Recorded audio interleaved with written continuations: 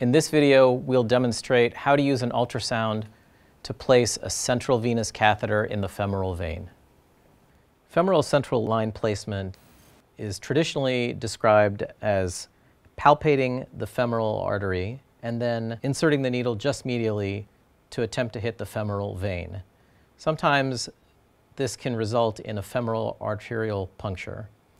This can be avoided using ultrasound. With ultrasound guidance,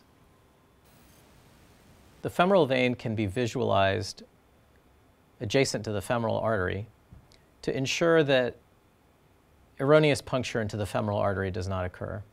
Here you can see the femoral vein next to the femoral artery, which is fully compressible while the artery continues to pulsate. Once the femoral vein has been located in this location, a central line can be placed under the standard technique.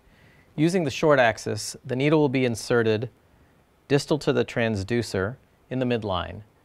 Then, after insertion of the needle, the needle tip can be found using the ultrasound and then followed as it is advanced toward the vessel. The other alternative is to perform this line placement in the longitudinal approach. To do that, locate the femoral vein in the short axis and then turn the transducer 90 degrees to demonstrate the longitudinal vessel. At this point, the needle can be placed adjacent to the transducer and brought in the longitudinal approach where the entirety of the needle can be seen puncturing the vessel as it approaches.